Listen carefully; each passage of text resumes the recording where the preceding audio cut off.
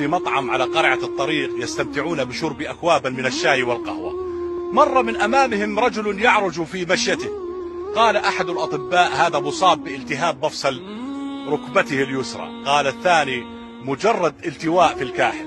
قال الثالث هذا يعاني التهاب أخمصي في وجه القدم. قال الرابع انظروا لا يستطيع رفع ركبته يبدو ذلك بسبب خلل في خلايا عصب الحركة السفلى. قال الخامس أعتقد أن لديه شلل نصفي وقبل أن يصرح الطبيب السادس بتشخيصه للمرض وصل الرجل إلى المجموعة وسأل أين بإمكاني أن أجد إسكافي لإصلاح حذائي؟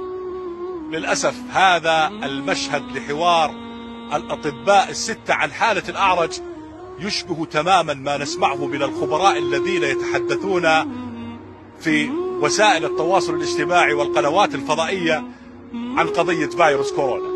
هذه الأيام فالكل يتكلم عن الفيروس بما يحلو له. فيروس بين الوهم والحقيقة وبين التهويل والواقع والاستغلال والمصالح وسياسات ومؤامرات. لا يوجد شيء واضح لكن هناك شيء واضح وهو وجود الله القادر على كل شيء. تضرعوا إلى الله فالوهم نصف الداء والطمأنينة نصف الدواء والثقة بالله أول خطوات الشفاء.